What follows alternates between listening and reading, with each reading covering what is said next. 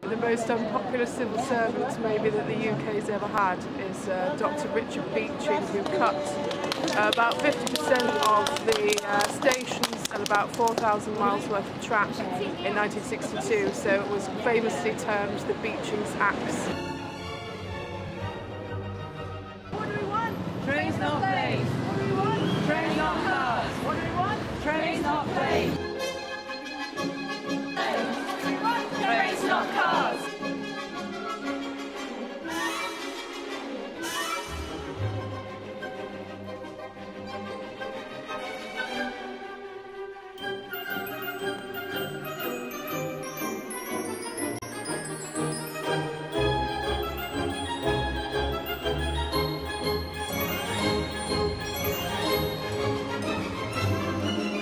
Good morning ladies and gents, I'm Philip Cummins, Private Secretary, my name's Katrina. Can I have your We're very concerned about the threat to rail transport and the rail reforming franchise. concerned that there wasn't there wasn't really a way of saying actually what we want is cheap travel, publicly owned travel, and something that's sort of sustainable. And that there, you know, for the greenest government ever, there wasn't really any focus on the sustainable aspects of the rail and why that should be something that we should be encouraging people to do rather than get into their cars.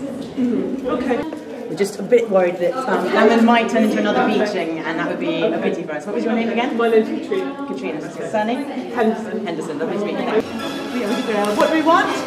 Trains not planes. What do we want? Trains not cars. What do we want? Trains not planes. Trains, not cars. Trains not planes.